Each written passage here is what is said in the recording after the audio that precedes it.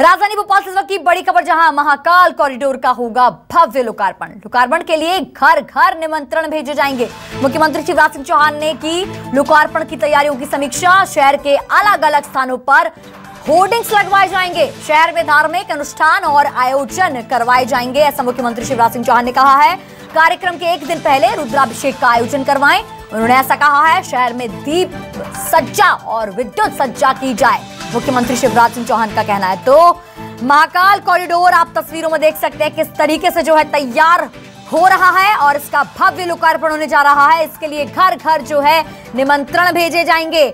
मुख्यमंत्री शिवराज सिंह चौहान ने पूरी तैयारियों की समीक्षा की है। देखिए कितना सुंदर जो है ये महाकाल कॉरिडोर का भव्य नज़ारा आपको दिखा रहे हैं। शहर के अलग अलग स्थानों पर बड़े बड़े होर्डिंग्स लगवाए जाएँगे। धार्मिक अनुष्ठान और आयोजन करवाए जाएँगे।